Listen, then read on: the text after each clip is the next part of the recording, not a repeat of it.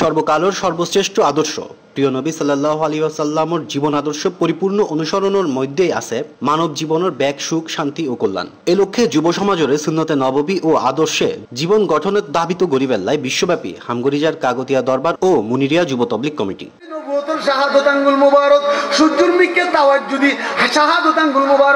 এমন করে রাখি দিল, অর্থাৎ পনেরোই ডিসেম্বর শুক্রবার রাউজানের উত্তর গুজরা আয়সা বিবির বাড়িত এসাদ মাহফিলুত উপস্থিত শত শত আলেম ব্যবসায়ী এলাকার গণ্যমান্য ব্যক্তি ও সর্বস্তরের হাজার হাজার নবী প্রেমিক মুসলমানের উদ্দেশ্যে প্রধান অতিথির বক্তব্য কাগতি আলিয়া গৌসুল আজম দরবার শরীফুর মহান মোর্শেদ আউলাদ রসুল হজরতুল্লাহ আল্লামা মহান মোর্শেদ আজম মাদাজিলুল আলী সাহেব এসব কথা হয়। তিনি আরও হয় দেব গৌসুল আজম রাজি আল্লাহ তালা আনহু প্রতিষ্ঠিত হাগতিয়া দরবারত আসাদের দৈনন্দিন কমপক্ষে সহস্রাধিকবার দরুদ ফাডর এবং প্রতিদিন ফজর ও মাগরিবুর নামাজ আদায়ের পর ফাতেহা শরীফুর মাধ্যমে নবীজির রুহ মোবারকত ইসাল সোয়াব প্রেরণের অনন্য আধ্যাত্মিক ব্যবস্থাপনা।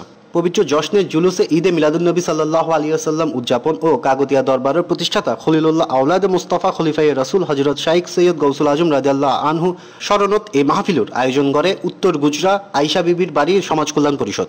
সমাজ কল্যাণ পরিষদের সভাপতি ডাক্তার মোহাম্মদ রোশাঙ্গীর আলমর সভাপতিত্বে মাহফিলত বিশেষ অতিথি আসিল মহাদ্দিস আল্লামা মমতাজুল হক নুরি, স্থানীয় ইউপি সদস্য মোহাম্মদ জমিরুদ্দিন বাবুল, আলহাজ মোহাম্মদ জাফর মৌলানা আব্দুল হক আল কাদেরি মৌলানা নাজামুদ্দিন আনোয়ারি